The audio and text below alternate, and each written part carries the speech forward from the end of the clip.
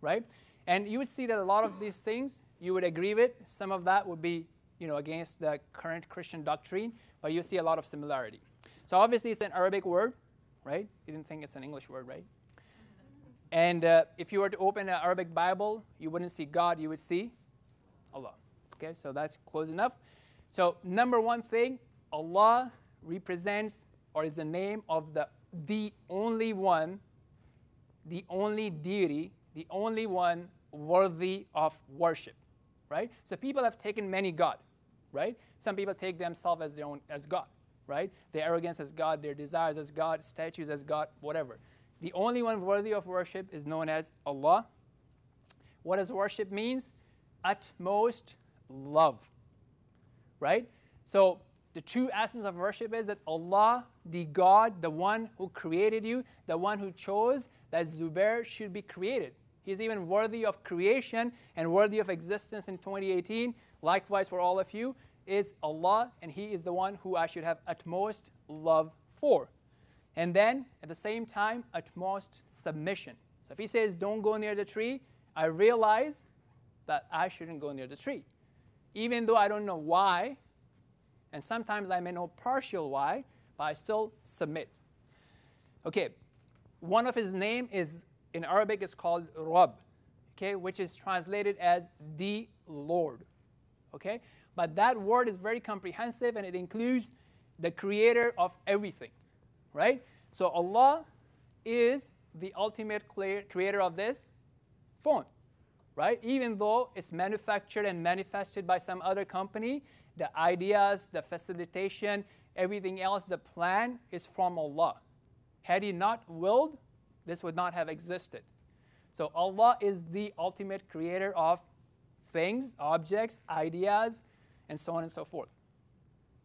At the same time, right now I own the phone, right? I did not create it, I own it from a worldly perspective. So Allah is the complete owner as well. Even though I may buy things, sell things, eventually Allah is the owner, right? So if I lose it, right? And should be, oh my, where's my phone? Why, is, why do I always keep losing my phone? No, at the end of the day, Allah is the owner. He gifted it to me. He facilitated it for me to have it. And if it goes away, then it's also from Allah. It belongs to Allah. It always belonged to Allah. And then finally, He's also the planner. So right now, Mercedes can manufacture a car and then sell it to you. They're not the owner anymore, right? And then you are the owner. But when you are the owner, you're not completely in charge. Somebody could come and you know break it in, or you know you might have an accident, or somebody may put it on fire, or whatever, right? But for the creation of Allah, He is still in charge.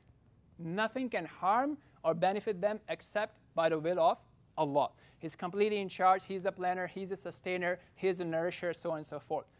Okay, He is the most merciful, right? There's no one that has more mercy towards us than Allah. Right? So if I want my sins to be forgiven, the one I need to go to is Allah.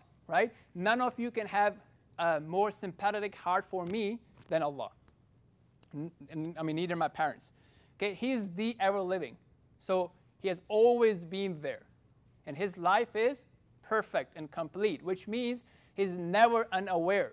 He does not sleep. He does not get tired. He is not dependent on food and nourishment, so on and so forth. If it was, it would not be a complete life, right? Okay.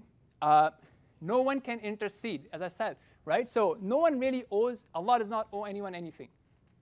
So I have nothing in front of Allah. My parents have nothing. Muhammad, peace be upon him, has nothing. Any other messenger, prophet, we believe has nothing, as Allah has told us and also, you know, you can think about it, has nothing that Allah owes to them.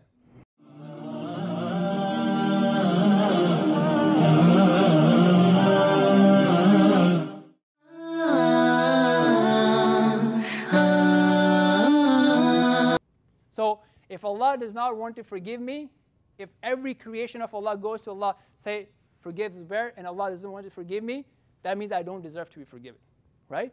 Because who is the most wise? Who is the most merciful? So none has the power to intercede except if Allah chooses to honor someone, right? So let's say Allah chooses to honor Jesus, peace be upon him, or Muhammad, peace be upon him, and then say, you know, intercede for your people, right? So that's showing an honor for them. But they would only intercede for the people who Allah approves, right? For example, we know that the father of Ibrahim, Abraham, right? You guys know Abraham, right? He is not going to paradise, right? And Abraham cannot intercede for him, right? Nor is he worthy of to be interceded, right? So that's something to be very important to realize the power of Allah as well as the mercy and justice of Allah. Okay, and he has complete knowledge. So I can't surprise Allah, right? So Satan did not surprise Allah by disobeying him, right? From the completeness and perfection of the knowledge of Allah is no one can surprise him. And then all these things and everything else is unique and exclusive to Allah. There's no one like him. So if I'm talking about complete knowledge, complete hearing, all that is exclusive to Allah. It does not belong to Muhammad, peace be upon him, nor any other men, or Satan, or jinn, or anybody else. Uh, continuing on, he is the most powerful, right? So nothing, one second.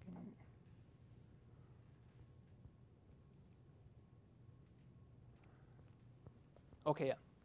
So nothing can go except by his agreement, except by his approval, right? And this is something I want to talk about. So he has two types of will, right? Because if I'm saying nothing can happen except by the approval of Allah. You go, what about that guy who killed like a five year old?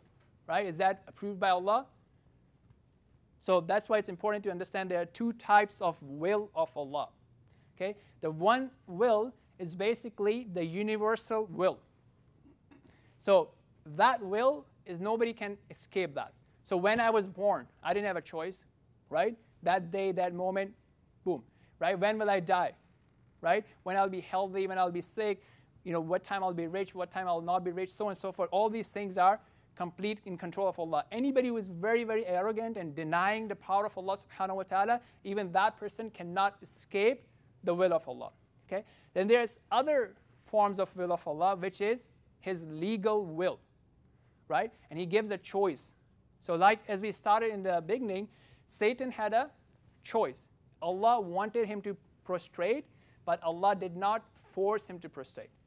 Right? So uh, that choice is also from Allah. Right? Had Allah wanted, that choice could have been taken away, right or wrong? So, so you have a choice in certain sayings. So likewise, do not kill innocent people. That's a choice, right? If Allah wants, He can take that away, but sometimes He leaves it, and that leaving has a greater wisdom, right? Just like Allah told angels, yes, I will create uh, human beings and they will shed blood, but that even has a greater wisdom, right? And we can uh, talk about it if needed. But the point is there's two types of will, something that is imposed and something that is you have a choice, right? So Adam had a choice about the tree. He was physically and environmentally capable of eating from that tree. But God did not want him to create to eat from the tree. So having said that, ultimately everything is under the wisdom of Allah. Right? Is in, in, under the wisdom of Allah. So whatever happens, it will be under the wisdom. So even if